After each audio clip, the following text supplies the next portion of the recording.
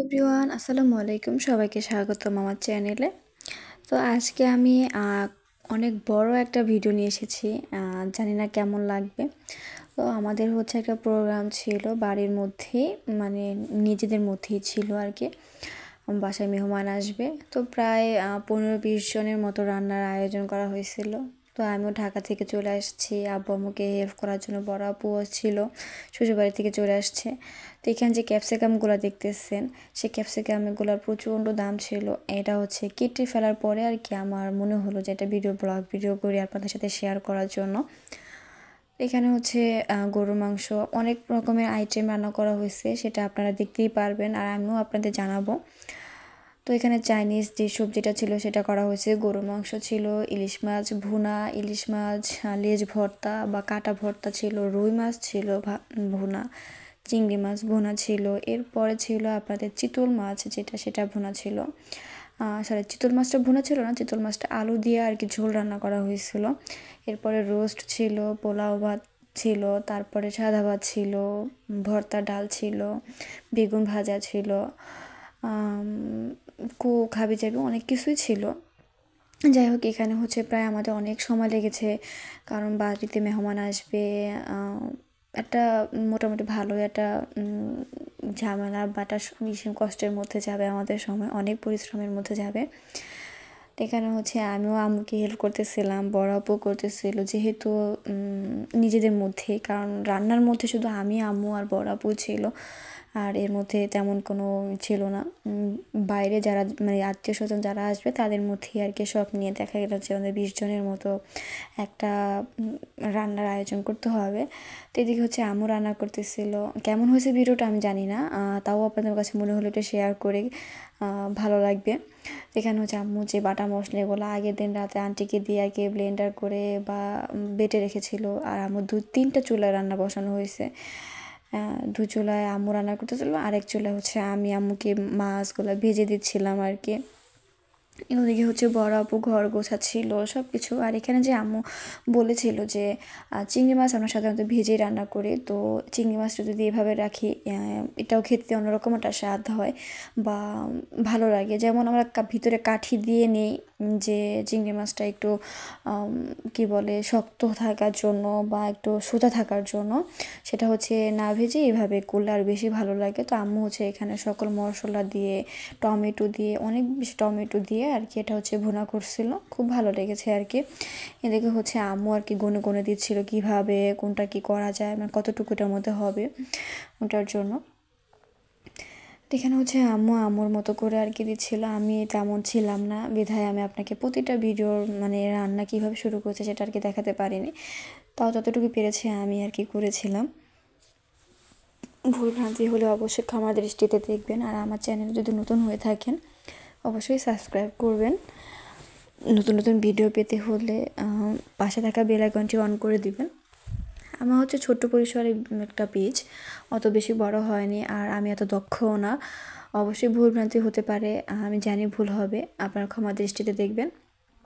এ পাশে হচ্ছে আমু ইলিশ মাছের ভুনার জন্য আর কি পেঁয়াজ ভাজতেছিল। পেঁয়াজের মধ্যে এখানে হচ্ছে বাটা মশলা একটু হয়তো সামান্য, যেহেতু ইলিশ মাছ, তো সামান্য পরিমাণে জিরা বাট মানে আদা বাটা, রসুন বাটা, জিরা বাটা দিয়েছিল। কারণ অনেক বেশি মাছ ছিল, তাই আর কি একটু পরিমাণে করে দিচ্ছিল। তো ইলিশ মাছে সাধারণ এগুলো না দিলেও হয়। তো এগুলো হচ্ছে দিয়ে আম্মু আর কি ভুনার প্রসেসটা করতেছিল ভালোভাবে ভেজে। তা আপনারা দেখতে থাকেন কীরকম হয়েছে, জানি না কেমন হয়েছে।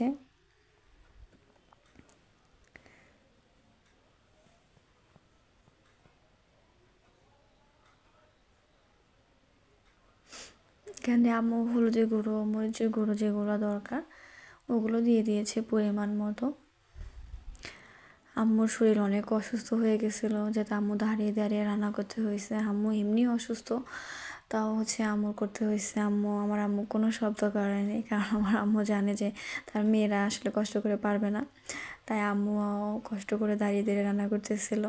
আমরা করেছি, আম্মুর সাথে আম্মুকে হেল্প করেছে, কারণ আম্মুকে হেল্প না করলে আম্মু আসলে একা পারতো না এতগুলো। তো এখানে হচ্ছে গরু মাংসের যেটা এখানে অনেক বড় একটা পাত্র ছিল, তাই দেখতে অনেক ছোট মনে হচ্ছে অনেক কম মনে হচ্ছে। তো এখানে হচ্ছে আমি কি করেছি যে এসের জন্য, সবজির জন্য, যেটা চাইনিজ সবজির জন্য, সেটা হচ্ছে আমি মাংস কেটে কেটে রেখেছি মুরগির মাংসটা। এখানে হচ্ছে আমি এখন রুই মাছ ভাজবো। আর এদিকে হচ্ছে, আমি আমার ভাই রুজিমা ভাজার ক্ষেত্রে আমি আমার ভাইকে বলেছিলাম, একটু ভিডিও করে দেখো কীরকম হয়েছে। একটু জানাও, দেখাও। তো আর কি টুকটাক কিছু ভিডিও করতেছিল। আর এদিকে হচ্ছে ডিম সিদ্ধ যে ব্যাপারটা ছিল, ডিম সিদ্ধর জন্য আমি আর কি রেখে দিয়েছিলাম।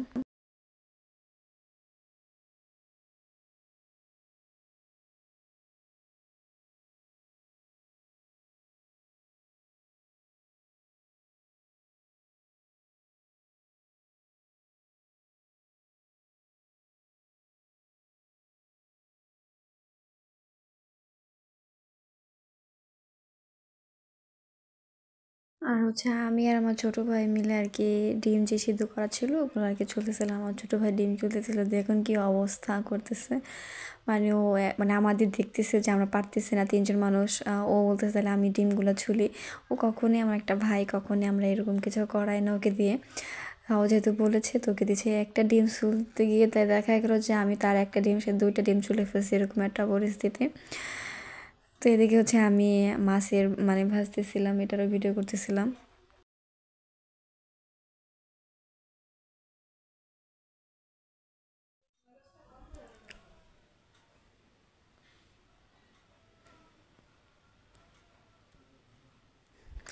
এদিকে হচ্ছে এই মানে ওগুলার ক্ষেত্রে আমি যখন ভাজতেছিলাম ভাজার ফাঁকে ফাঁকে আর কি ভিডিওগুলো করা।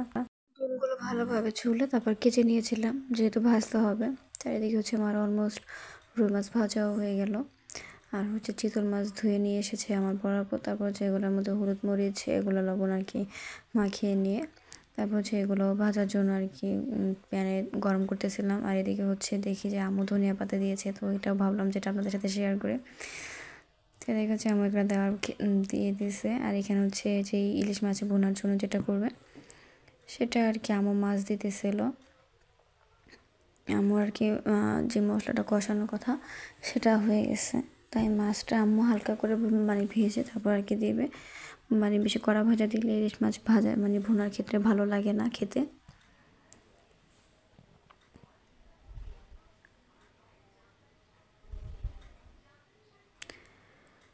এদিকেও আমি তেল যেহেতু গরম হয়ে গিয়েছে আমি এর মধ্যে হচ্ছে মাছ দিয়ে দিচ্ছিলাম যে চিতল মাছগুলো, আলু দিয়ে ঝোল করবে আম্মু। মাছগুলো আর কি মোটামুটি ভালো একটু লালচে ভাব করে তারপর আর কি ভেজে নিচ্ছিলাম।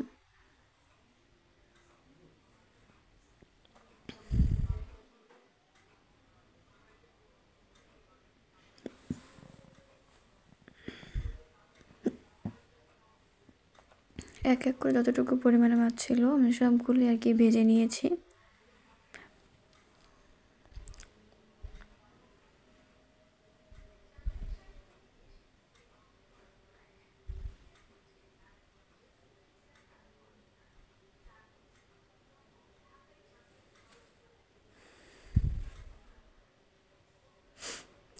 এদিকে হচ্ছে আম্মু ওই রুই মাছের জন্য আর কি করতেছিল। রুই মাছ রান্নার প্রসেস করতেছিল। আর এখানে হচ্ছে বেগুন ছিল, বেগুনগুলো আর কি কি একটা অবস্থা। বেগুন উপরে দেখা যায় যে ভালো, ভিতরে একদম অবস্থা পুরাই খারাপ হয়ে যায়। তাই ভাবলাম যে আপনাদের সাথে একটু দেখি, দেখাই যে আপনাদের সাথে এরকম হয় কি না তো কী আর করার? এভাবেই আগে করতে হয়েছে। তাই লবণগুলো আর কি মাখিয়ে নিয়েছি। ভালোভাবে একটু লবণ মানে ভিতরে লাগে, ডিমের মধ্যে। তো ডিমটা হালকা করে আর কি ভেজে নামিয়ে রাখব। তো প্যানে তেল গরম করে আমি এর মধ্যে আমি আর কি দিইনি, আম্মু দিয়ে দিচ্ছিল কারণ অনেক ভয় লাগতেছিল।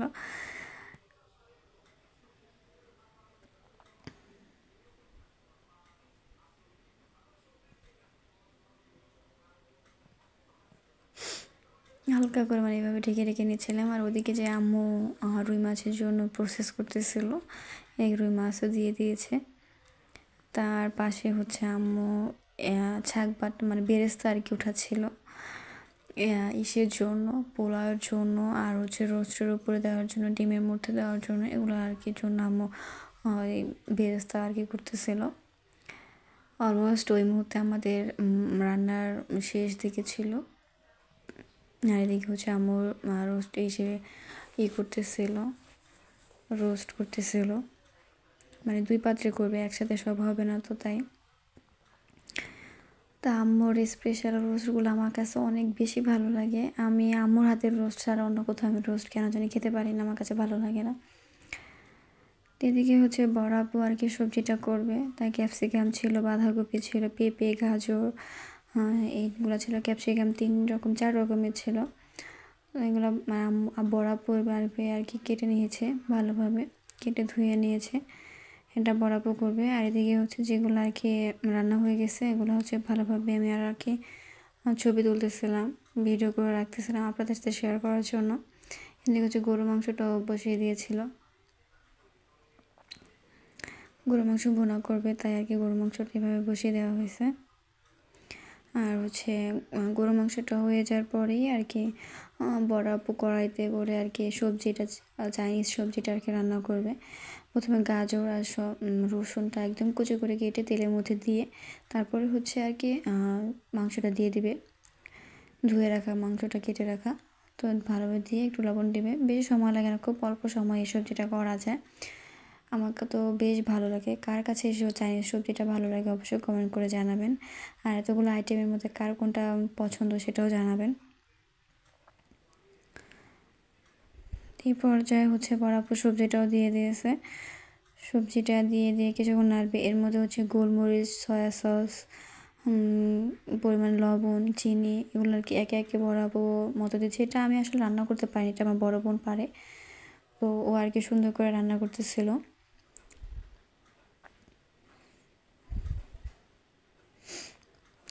আর হচ্ছে পেঁপে, গাজর, এগুলো আর কি পরে দিয়ে মানে প্রথম দিয়ে দিছে। যেহেতু ক্যাপসিকাম এগুলো আর কি সিদ্ধ হতে সময় লাগে না। ক্যাপসিকাম, পেঁয়াজ, বাঁধাকপি এগুলো আর কি একটু পরে দিচ্ছে, এগুলো আর কি ভাপি হয়ে যায়। এটা করার পরে আর কি বরফ কর্নফ্লাওয়ারটা ভালোভাবে যে দিয়ে দিল। ও আর কি পরিমাণটা বুঝে বুঝে দিচ্ছিল যেহেতু অনেকগুলো মানুষের রান্না ছিল, তাই আর কি ওর একটু প্রবলেম হচ্ছিল করার জন্য। তাও বেশ লেগেছে, আলহামদুলিল্লাহ, খুব ভালো করছে রান্নাটা।